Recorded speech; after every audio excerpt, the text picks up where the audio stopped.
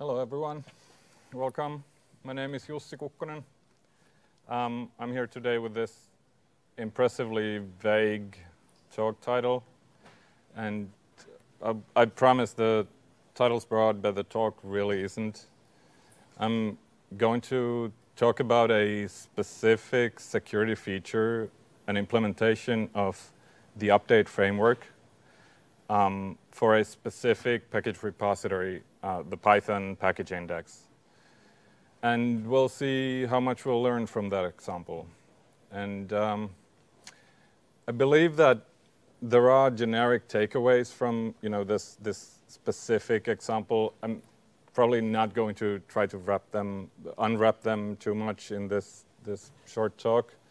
Um, I'll just tell this short story and and about this one security feature and how it has succeeded, and maybe more interestingly how it hasn't succeeded in improving package repository security. Basically, what we can learn and what approaches we could take in the future.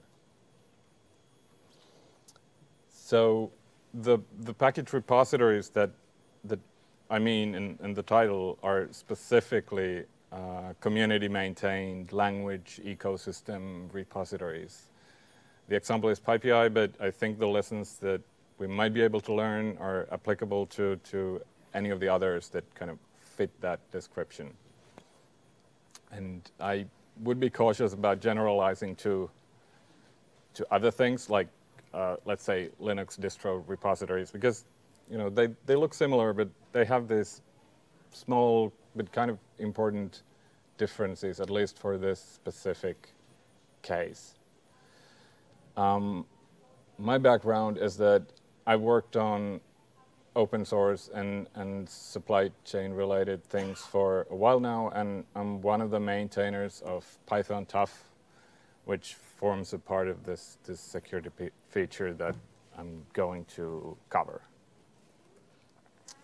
Um, my plans to explain the problem that's being solved or that's, that we're trying to solve and show you the potential solution and then document or analyze how this solution has been uh, uh, applied to PyPI, the Python ecosystem repo, and after that, kind of continue on looking at what worked and what didn't, and those lessons that you know could be useful. So I should start by defining the problem that that we or people before me started to uh, try to solve. Um, on the very high level, it's just that community package repositories like this are not safe.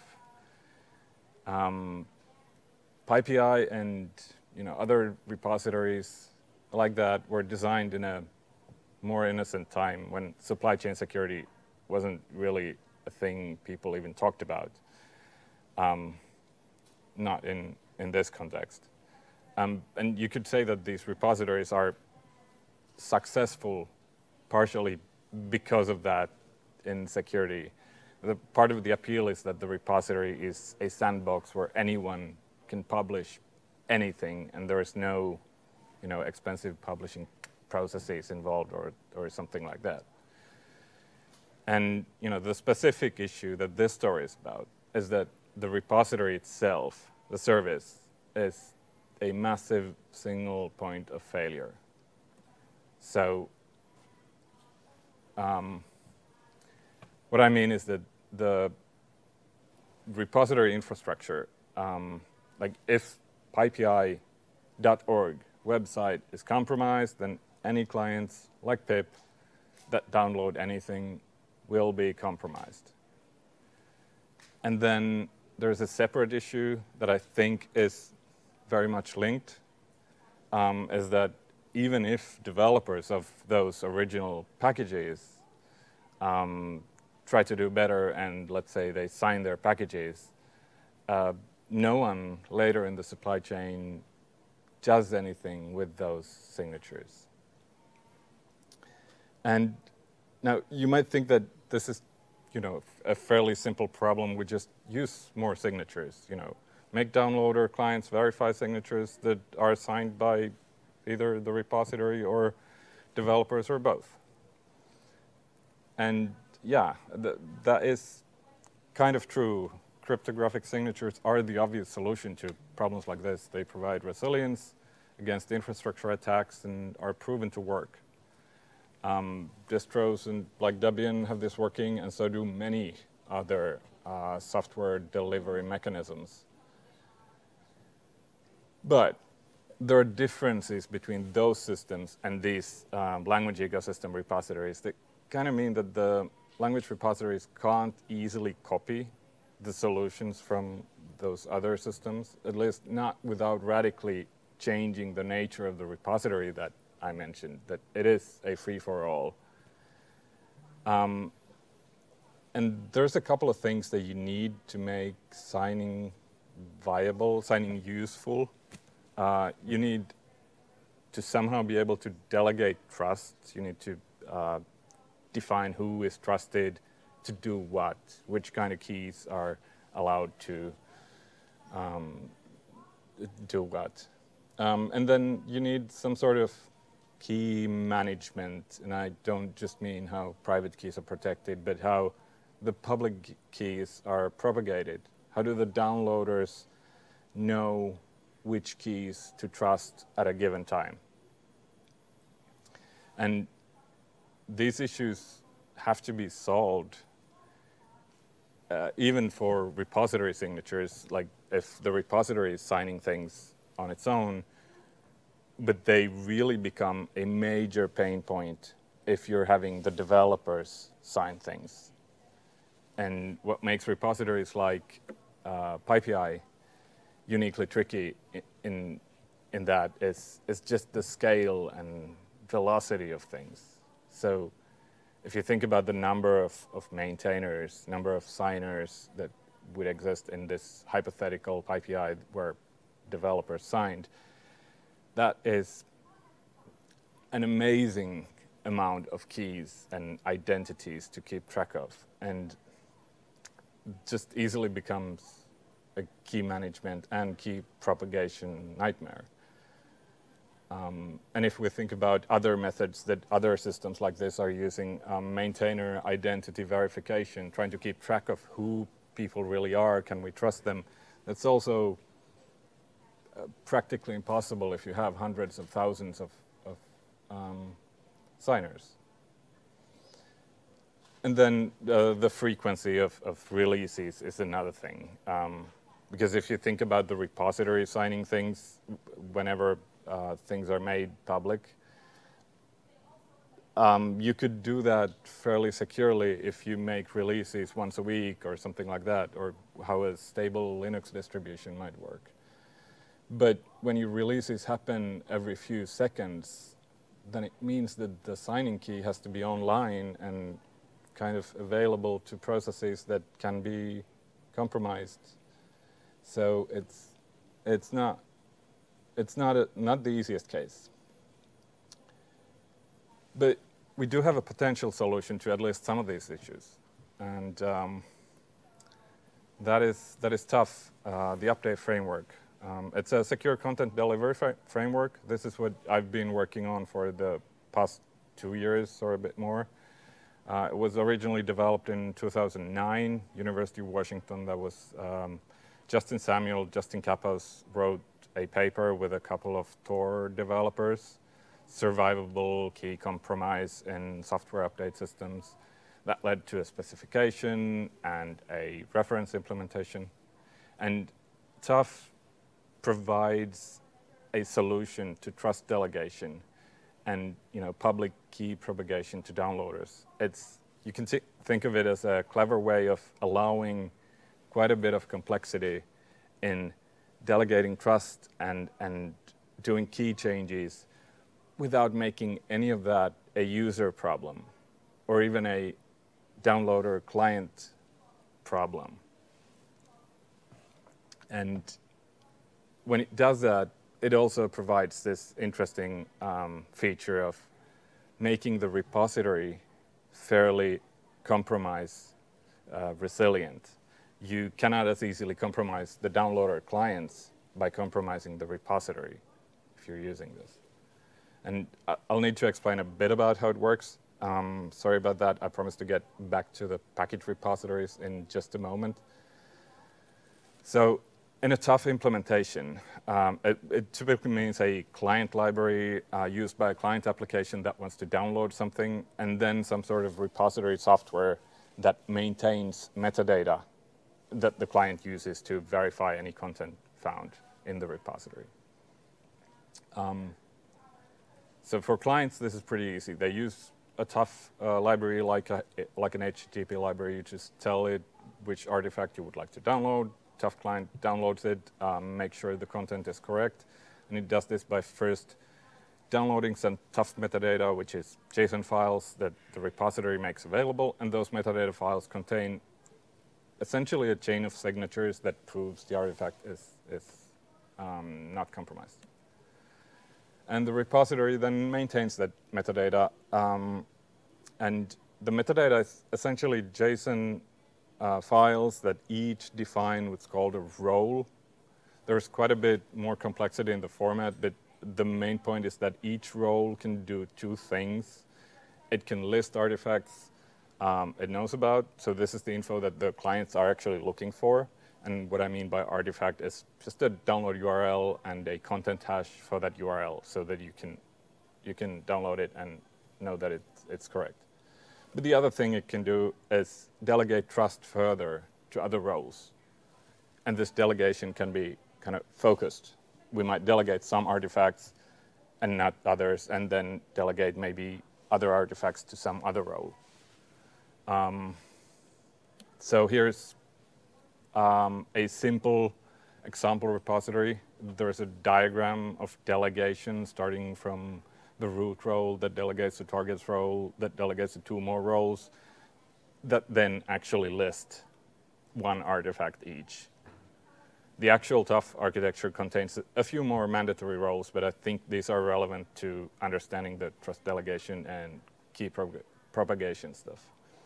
So the delegating role decides both whether it delegates trust onwards and the keys that the delegated role must be signed with.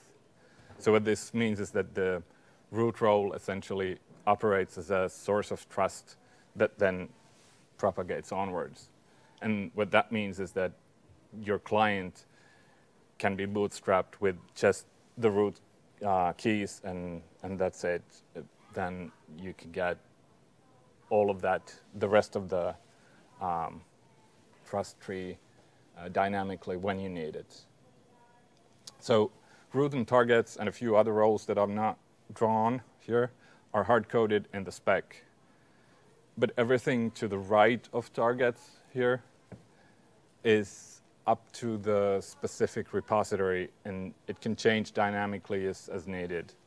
Um, so new metadata versions might add new artifacts, remove artifacts, but could also add new delegations and new delegation trees. So to maybe make that example a bit more concrete, if we have this repository and a downloader client wants to download x.zip, then there's a defined process where the TUF client library makes sure that the top level roles, that's uh, root targets and a few others I've not drawn, these are up to date and signed then the TUF client sees that targets delegates forward to project X. Then it goes ahead and downloads project X metadata and verifies that it's signed by you know keys defined in the, the previous, the delegating role. And then further finds that there is a matching artifact that has a hash and it can download the artifact and check that the hash is correct. So to compromise this download process, the attacker needs access to either root, targets, or project X keys. So getting control of just the hosting infrastructure for um, for x.zip or the metadata is not enough. If you want to compromise clients, you need access to keys. Um, yeah, that was a quick primer on TUF. I hope that's that's enough about that, and we can move on to the actual content. So I'd like to talk about the plans, how how you would integrate this into the Python ecosystem. Um, we've got two PEPs. Um, PEP is short for Python Enhancement Proposal, and this one, PEP 458,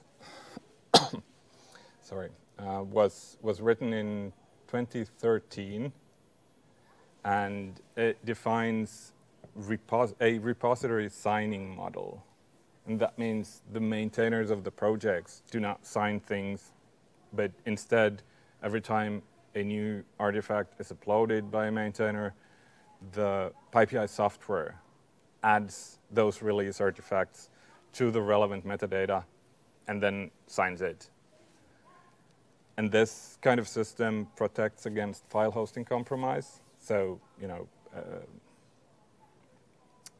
the metadata or the, you know, the Python index files, that would be the, the content here. Um, but it wouldn't um, protect again against compromise of the signing component, of course, because uh, as we discussed, um, you need the key to available all the time because there are new releases all the time. So, um, so the the key is uh, online. Um,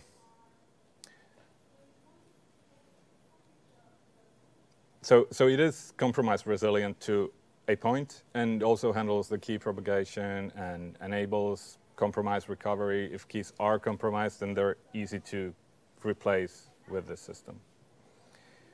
There is another um, proposal that's a bit more, well, more interesting.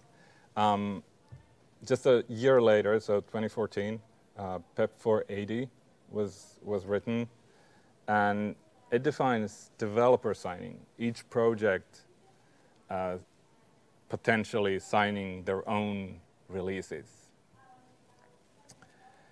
And it does contain some major workflow changes for um, maintainers and, and administrators, uh, like maintainers of Python projects and administrators of PyPI. Um, but it does protect against all infrastructure compromise and creates a secure supply chain from developer all the way to user. And what I mean is that if you remember the, the diagram of roles, imagine that, but a bit more complex, a, a bit more deep. And the whole chain of keys, from root to targets to some, some midway delegated roles to the final project role, the whole chain can be offline keys. They could even be, you know, hardware keys in, in you know, someone's drawer. And what that means that it is not possible to compromise any downloader clients without access to at least one of those keys. And none of those keys are on the server. And I, I don't know about you, but I, I think this is just a very cool idea. And it would make the whole supply chain um, resilient to PyPI compromise. It's period. I, I was not involved the, in the project at this time, but I would assume that the thinking was that there is now a simple two-step process. We implement PEP 458, then we implement PEP 480, and the result is like a Fort Knox of, of package repositories. But before we, we get to what has actually happened in this space, I just want to quickly mention how TUF in general progressed from you know that point, like 2014 or so, to today. Um, I think it's fair to say that the specification has stood the test of time. It's it's um, improved, but in general, like it's proven to be to be useful in practice and and secure. Uh, there are many more implementations now. It's it's in use by it's in use in in several um, operating systems as an, as an update system and in, in other places as well. So practically useful and, and clearly implementable. So what about the PyPI case that, that I was talking about? We uh, didn't get a Fort Knox. We, we maybe got the Sagrada Familia instead. Um, so about nine years has passed since the first proposal, and um, we don't have anything running list publicly at this point. And this is kind of what I want to spend the rest of the talk on. Um, why was this much harder than, than was expected, and what could we learn from this? And I don't want to make it seem like there's no success at all. The PEPs have resulted in a lot of low-level work in the spec and in the TUF Python implementation, which is just a far better software uh, project now than it, than it used to be. Um, PEP 458, the first one, has had considerable progress and very smart people are working on it right now, and I trust that that one will happen, um, hopefully soon. Um, but the reason I wanted to talk about this is that nine, ten years from, you know, making the proposal to to maybe getting it into production, it's a long time. And that's the simpler proposal of those two. Much, much simpler. And if you ask me as a something of a subject matter expert, I would say that with this same trajectory, PEP 40 is, PEP 480 is not going to happen. It's just a far more difficult problem. So I would like to see if there are other trajectories available to us.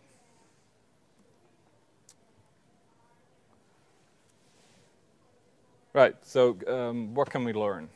I, I have some suggestions. There's a couple just kind of very specifically about TUF and, and how the spec works and how the software is developed. And then some comments on the enhancement proposals themselves, and then some sort of more gener general um, suggestions what we could do in practice to get things like this moving. So one clear issue has been that while implementing simple repositories with TUF is not too bad, it has turned out to be far more difficult for complex and highly automated cases. Um, and I think there is a clear underlying reason for that, and that is that the spec only defines what the client does. The repository isn't simpler to implement, but the complexity isn't obvious to the spec reader because the spec only talks about the client. And maybe this, you know, this sounds obvious now that if you see a spec that only talks about the client, you'd, you'd notice that, that that's not the whole story. But if you write specs to, to simple engineers like me, you really should have big letters saying this is just half the story. When you've implemented this, you've only got about 50% done. It took me an embarrassingly long time to figure this out. So maybe that should have been said. And if you're wondering why that is a core decision in the TUF spec, um, it's, it's that the spec is supposed to be generic. It's not like a specific update system. It's a framework for building update systems. And that works great for the client because the client is essentially the same for everything, and it kind of works. But um, you can build widely different repositories with TUF. As an example, you could have a repo maintained by a single person with no server software running at all, just something you run on your local machine and publish the files out every few weeks or months. Or you could have a repo with thousands of maintainers and a lot of automation on, on the server side. And the same workflows aren't going to work for both. So I can see why the spec doesn't define any repository workflows, but something really should. Um, because the result of this specifications hyper-focus on the client has been that we simple implementation developers spend a lot of time very, very carefully implementing the client spec to the finest detail. And then when it comes to the repository tools, we throw something on the wall. And we don't carefully define those repository operations either, and it probably doesn't come out very well. And we probably should have chosen a specific or like maybe multiple types of repositories and you know provided good support for those specific use cases. Um, but that's not how most or almost all TUF repositories or TUF implementations that I know of operate. So yeah, that was it about TUF. Let's look about the PEPs. What could the PEPs have done better? So these are the enhancement proposals for the Python ecosystem. Um, while attacks and protections and TUF mechanisms are important, they maybe didn't make the best, best possible enhancement proposal for the Python ecosystem. Because, you know, they, they don't talk as, um, so much about PyPI workflows and processes and how this affects the clients or, you know, the developer tooling and so on. And the PyPI developers themselves have not been super involved in this process. And I can understand that. Spending time on a, on a proposal that doesn't, mostly doesn't talk about the things that you're interested in, maybe that doesn't sound very appealing. And while the PEPs have a lot of focus on like TUF mechanisms and they're talked about in great detail, they don't actually include a software design or prototypes. And I don't mean PyPI prototypes, that's a lot to ask. But I mean TUF repository prototypes that would validate the design that is being proposed. Because something like PEP 480 has not been implemented anywhere. And PEP 480 is a very ambitious design. It, it will require prototyping somewhere. And now if you think about PyPI, that, that is a very conservative project for good reasons. Um, it's the backbone of a massive number of, of supply chains, and prototyping there does not seem like, um, like a good idea. Finally, um, especially the developer signing, so that's uh, PEP 480, would absolutely disrupt PyPI workflows at many levels. This uh, disruption really needs to be well defined before a proposal like this is, is credible. And I probably shouldn't go into too much details, but if you're wondering what you know workflow changes I might mean, um, you could think about um, like identity or key changes. So now if, if you're a Python project maintainer, you want to add a new maintainer, you go to the website, you click a button and write the name of the, the maintainer or the username. And that's pretty much it. But if all of that, um, this, and that's the trust delegation currently.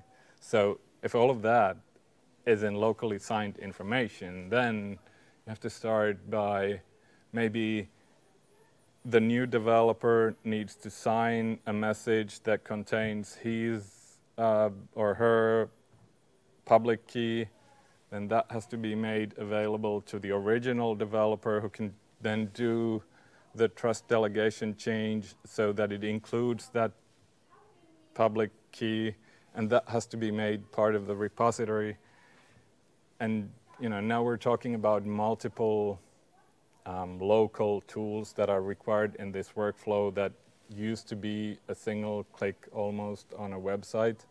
So that's a, that's a big change.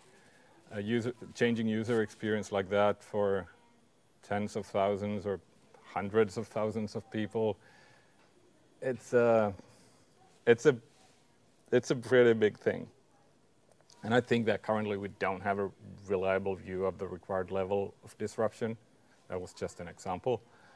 Um, and in my opinion, that means we can't really tell if PEP 480 is a viable solution for PyPI.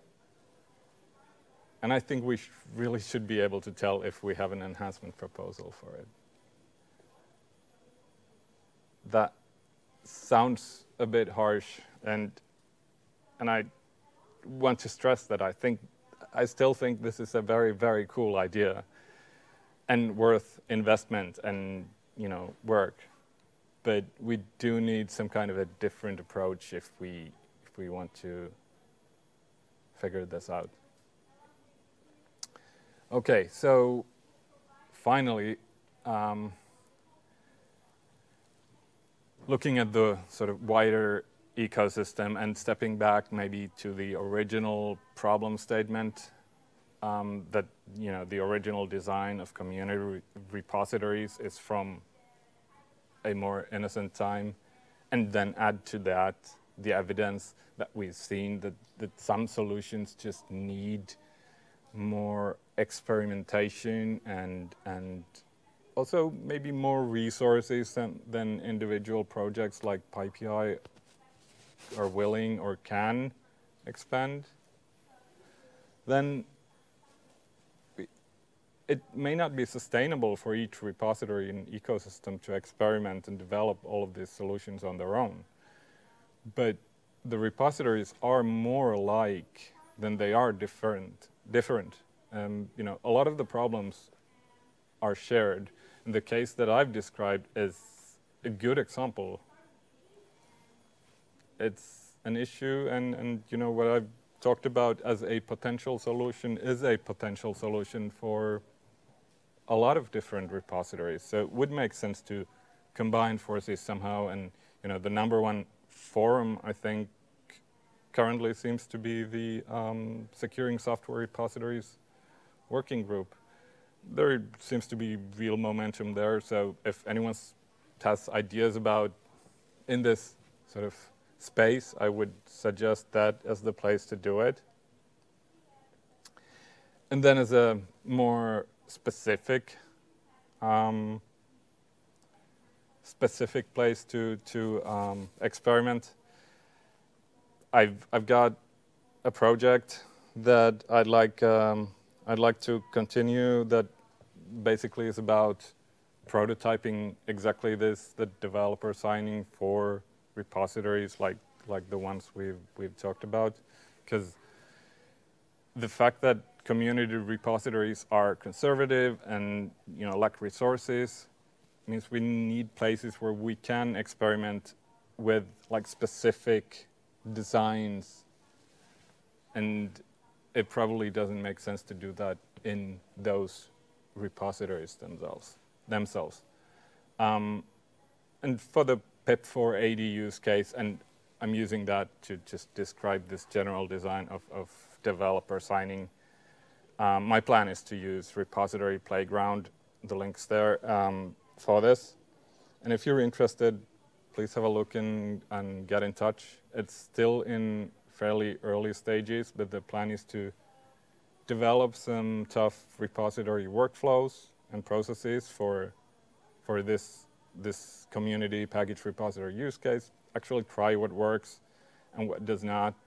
And the goals are basically to find out if TUF is a viable solution and then produce an implementation and documentation that allows repository projects like PyPI to evaluate the idea and see if it can work for them. Can they, you know, take the design and, and use it in, in their own systems? Yeah, that, that is what I have. I think we should have some time for questions or comments. And I think I should put these on if there are any.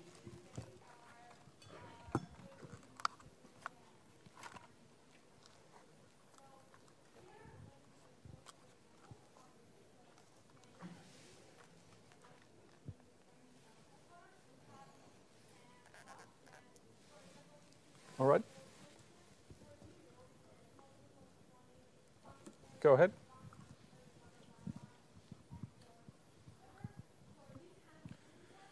Um, it's a quite interesting problem, right? um, I, I, was wondering because you talked a bit about uh, TUF and the PEP and uh, PyPI as all kind of and the working group in in uh, OpenSSF and so on as all kind of different parties who are uh, uh, maybe not collaborating enough. Um, is, is that impression true, or uh, because I, I would think that the the um, security of, of the PyPI repository would be one of the prime concerns of the people who are running PyPI and developing it. So, is there some some gap there, or uh, can you share some thoughts on that? Yeah, I, I, I suppose that's a really common problem in in open source, right? And I I don't have any like fantastic solutions for it, but it's really understandable. Um, projects like PyPI aren't exactly the sort of um, sexy subjects that get a lot of new developers all the time. And also they can't just take anyone to, to just do changes into PyPI source code just like that. Then you have to be careful about it. Um, so there isn't like a huge amount of resources available to just start looking at like experimental projects and and I, I can you know I'm I'm not involved in developing PyPI itself, but I can certainly understand that seeing um, far-reaching proposals for it, you know, you might look at that and then decide that well I've got these much more pressing concerns to work on right now, and yeah, it's a it's a tricky problem, but definitely working together probably is part of the solution. Uh, sorry. With so many,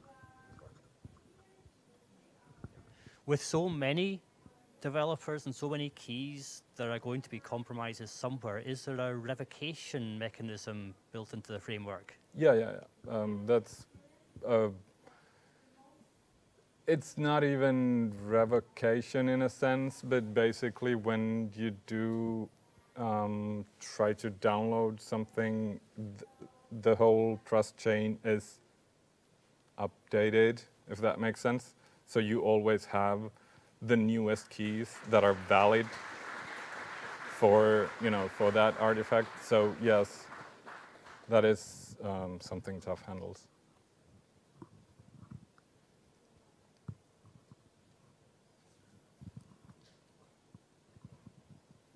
Uh, yeah, hi, my name is Nick.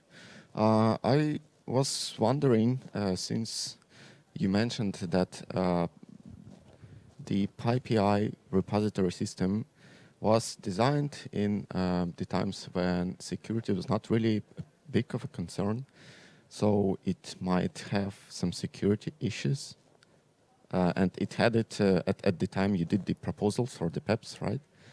I'm wondering, since none of those PEPs have been implemented, what are the security measures that are taken like today and uh, that were taken during those nine years, apart from your PEPs, uh, that uh, enhance the security, of course. And uh, the second part of the question is, uh, if, if it worked for nine years, I hope successfully, why it couldn't be used anymore?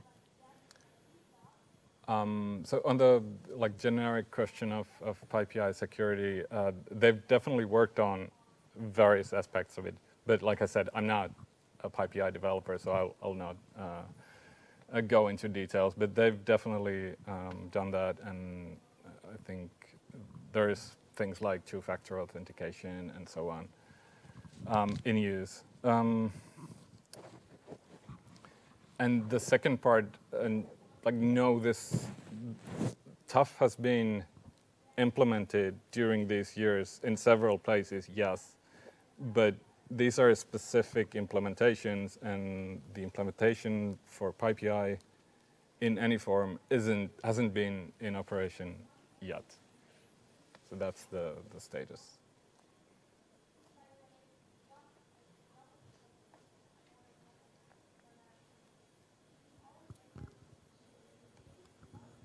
Anything else? I Yeah. guess? Could you comment on what the difference might be between TUF, the generic implementation, and SigStore in general? Because that seems to be the going topic within the super securing the software supply chain repos working group that you mentioned that ear- earlier.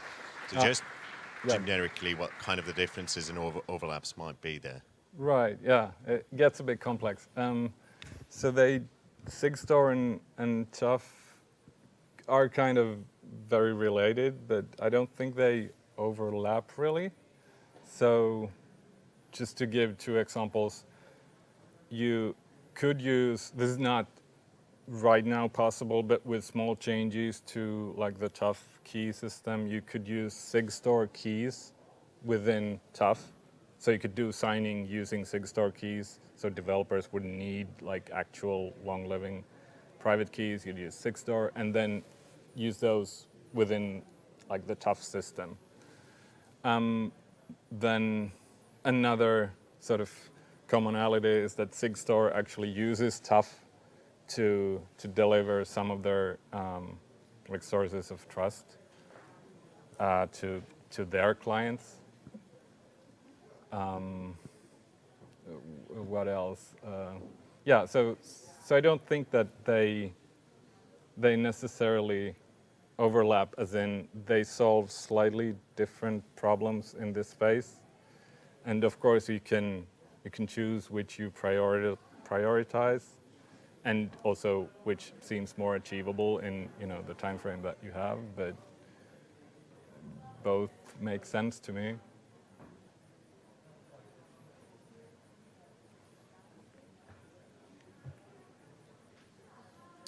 All right, I think we're done. Um, thank you, everyone.